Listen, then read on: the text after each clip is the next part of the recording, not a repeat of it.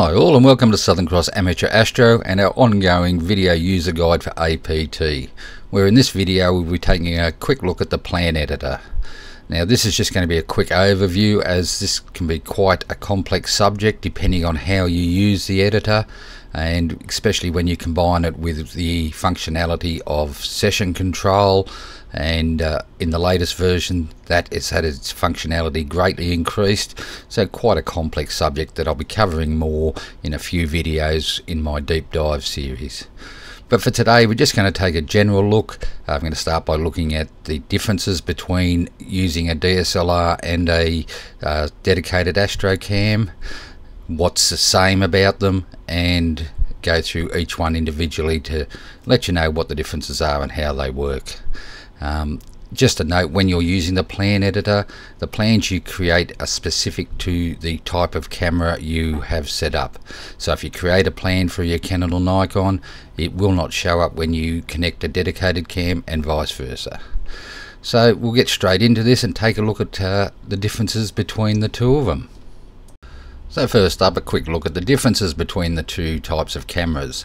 On the left we have a uh, DSLR, a Canon or Nikon imaging plans and on the right we have the dedicated Astrocam editor. Now the first thing you'll notice is the differences in the settings on the right. Um, there are different ones because the cameras work totally different. Uh, what's listed in the display on the left in the uh, plan details is slightly different for the columns you have available and then there is the differences you don't see straight up um, each plan type has uh, various types of plans. Um, they all have your lights, your darks, flats, bias, dark flats, and focusing plans. But each type of camera has one additional plan that is totally separate from the other. So that's a difference you won't see at the moment until we get into them. And the other difference you don't see is your um, scripts and commands. When you go into your commands, the list of commands available for a DSLR will be slightly different to the ones you can get for your dedicated Astrocam simply because it has settings for your binning etc and gain and everything else whereas uh, the DSLR has slightly different ones there but they're the main differences between them um, not a lot that you can really see except for the exposure settings and I'll cover all these in their individual um, descriptions. So now we're going to get into the common features between the two of them. Uh, to access your plan editor you can either click on the edit button here or if you're on the camera tab you can just double click on the uh, screen here and it will open up the plan editor. So for the common features we'll start at the top here with your import and export settings. Um, with this you can import or export plans if you want to copy them to another computer or if you've been using the simulator mode to create plans you can export them out of that and import them into your live program. So that's just a simple one there. Um, next you have your plans to edit or create. Um, from the drop down list you can add new plans and or load one that you've already got done. Um, so that's just simple. That's just a list of the plans you have available or to create new ones um, then you have these two buttons here. Um, if you use dithering, you can specify not to dither on a particular plan. Um, it's really only light plans you'll get dithering on anyway. By default on your darks and everything else, they don't dither on those. But um, you can specify just for this plan not to dither. Then you have a vertical plan. And what this is, it is instead of working across and taking uh, all the images on one line which is the default behavior so in this one it'd go to take two exposures there take two exposures there take two exposures there. It works vertically. So it'll take one exposure one exposure one exposure and one exposure and then go back to the top and start again until the total number of exposures is done. Now this requires that each line have the same number of exposures um, so you need to make sure of that. And times you might want to use that is if you've got a camera and you're using filters and you may not get enough time to run through uh, all the filters by doing them one at one line at a time. So you might want to mix up what filters you're using at the time. So that's the sort of thing that can do. Next we have the name of the currently active plan. Uh, in this case the default test that comes with uh, APT and from here you can delete that particular plan or you can clone it as another type of plan. Um, this is handy if you've got a light plan you want to do dark frames or if you have a uh, flat plane frame plan that you want to use for uh, a dark flat plane a flat plan plane I kept saying plane. Um, so you can clone it and it'll copy it to the exactly same uh, one under the different types of plans. So that's your cloning and copying there um, then we go down on the bottom down here. Now these are your controls to move your uh, various lines. You can switch them around and change them around up and down. That's all that is pretty basic. And then you've also got the delete button. Whichever line is selected click on delete and it will delete that line from the plan. Uh, right at the bottom here you have uh, your dura expected durations um, this can be thrown out a bit if you're using scripts or or commands and it just gives you a general idea of how long it might take for you to do the actual whole plan. And then your total lights so how many your time your total lights going to take uh, in your plan if you're using it.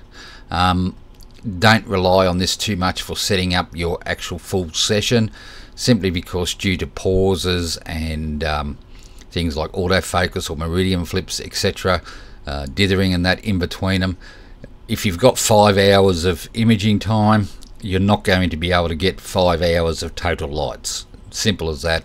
I allow an extra 30 seconds for each one when I'm doing my calculations for how many exposures to take. Then uh, over here, we'll skip the exposure settings here, they'll cover that next. Um, but update current, it's simply if you change a setting up here and hit update current, it will update the one that's currently highlighted or you can add it as a new line. So if I click on add as new line, you can see it's added the same one as a new line. I'm just going to delete that for now because I don't want an extra line in there and that's there. Then you have your scripts and commands. Uh, this opens up so you can get into your different list of commands. These are internal commands that you're you can run through APT. Um, but you can also, if you're smart enough, you can create VBS scripts uh, and put the path to the script in script in here, and APT will run that script for you. Um, under the commands in your written user guide you can have a look through there and see what commands are available for each type of camera as well as uh, any scripts that you can use uh, any variables you can use in your scripts now the other one you have down here right at the bottom is your wait till wait until script to end um, basically the internal commands of APTs that you use through here um, APT will automatically wait until they complete before moving on to the next step in your imaging plan. But if you're running an external plan, uh, APT generally by default won't wait until it finishes it'll just go straight to the next one by doing this it waits for the command to finish and then it'll move to the next one or wait for the script to finish and move to the next one and that's it for the common features. Uh, next I'm going to just move in and have a quick look at the DSLR and then the uh, CCD camera. Okay, so I have here the DSLR screen, which we're going to start with. Um, and then first of all, we're going to take a look at the editing for your exposures here. Uh, basically, it's the same as what you'd do normally anyway. Uh, of course, you've got ringy, ringy thingy up in the corner here if you want to use that. Um, so you can change your bits and pieces in here if you like. Uh, but the exposure is your actual exposure time, uh, the ISO you want to use for that one, um, the pause between images, which is counted after the end of the, an image, so it doesn't pause when you first start it, but it will pause at the end of an image and do that between each image, and how many images you want. Now, if you leave the ISO blank, um, it will take it as you want to use the ISO that you um, previously had set. So whatever ISO was set, if you're doing something in the cam tab and you had a different ISO set down here, um, it will use that instead. So it's best to set your ISO in here to make sure you don't lose it. Um, then you have your quality settings depending on the camera is uh, what you'll have available here. Um, generally you'll probably be using RAW so that'll store as your raw files um, then you have your AV if you want to change uh, the AV supported by your camera. I've got a big list in here but that's because I don't actually have a camera lens selected. Um, so if your camera supported it'll have a list of the AV settings for your aperture in there. Um, if you have a telescope connector you'll generally have that on no change because you can generally can't change the AV and then you have filters just in case you're using a filter with your DSLR you have a filter wheel or whatever you can pick the filter you want to use there. Um, of course no change because there's no filter wheel. It's not one that people with uh, DSLRs unmodified will often be using but you may have one there. Um, so that's the main difference in your exposure. It's just the command what you can use to set your exposure up uh, another difference as I said one you don't see before is the plan types. Now as I said light plans dark plans flats bias focusing and dark flats are all the same. Um, but what you have in your DSR is auto light plans. And what these ones are is um, plans that will use your auto exposure features of your camera to take the image rather than you setting an exposure time. Um, I haven't had personally a use for this but it could be handy for taking eclipses and things like that's been suggested. So you may want to do that. Um, but it's not one I've used at all and we'll have to see how it goes later on. But that's the one you don't see and that's the difference between the plan listing for a DSLR and a, a CMOS camera.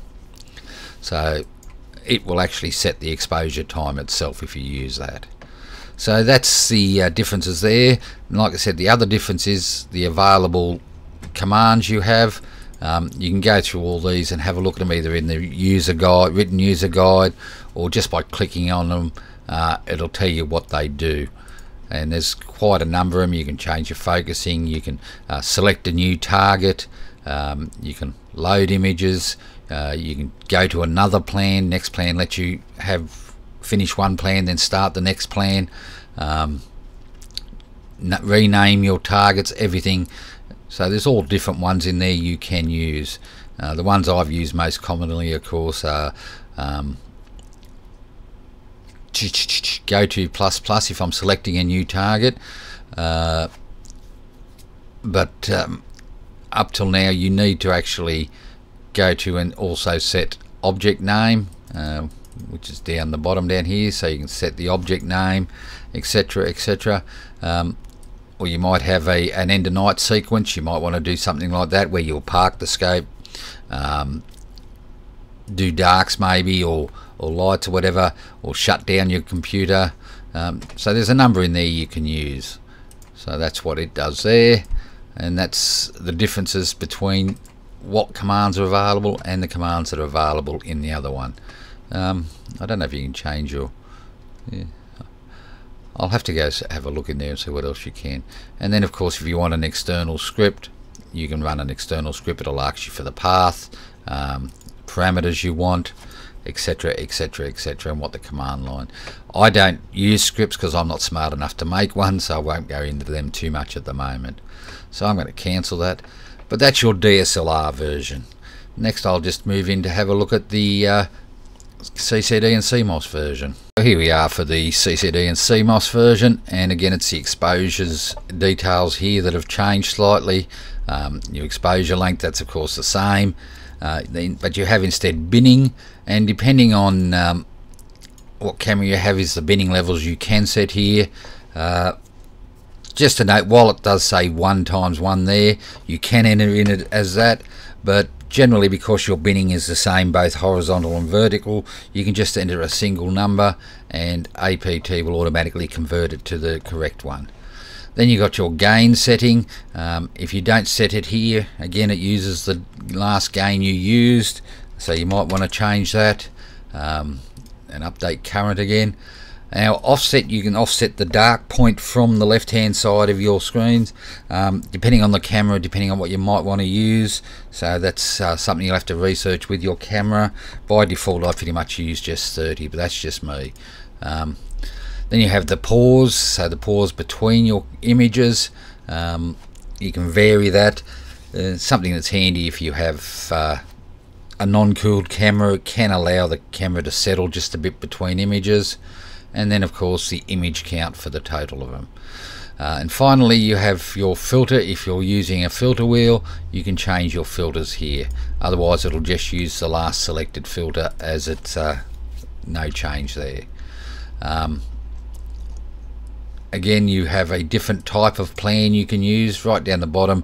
You have a mixed frame plan but the thing is with this you need to have a mechanical shutter on your camera.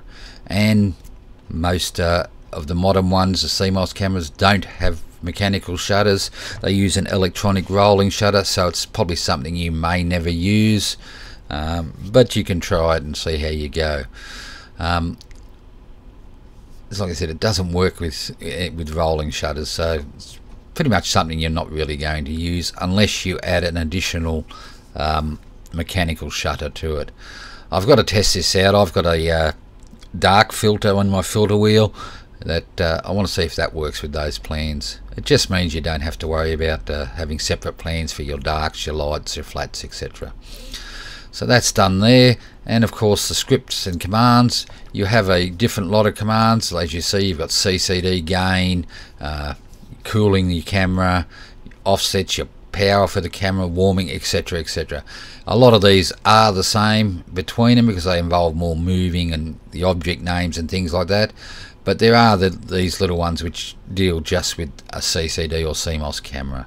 So that's the different differences in there so cancel out of that and other than that everything's the same so that's how you create your your plan editor um, once you've got a plan created when you know your exposure and everything just click OK and it'll import it into your image over here into your uh, list over here so you can see what your plan is. And it'll also tell you down the bottom uh, your expected plan du duration like that one's 32 seconds and two exposures for a total life of 20 seconds. So you can run that uh, that way. But as I said previously don't set your uh, number of images to the total lights equaling the amount of dark sky you have because you will never get it all completed. Um, you may get all but one uh, but depending on what happens with your dithering and, and um, meridian flips etc and autofocus you, know, you may lose three or four half a dozen depending on how long your imaging images exposure is but that's it for the uh, plan editor for now. As I said I will at a later time be going into a more detailed one where I cover not only the plan editor but working it all in with uh, Sessioncraft and um, your session control in there. But that's going to be probably two or three videos on its own in my deep dive series. But for now I just wish you all clear skies and I will see you next time. Bye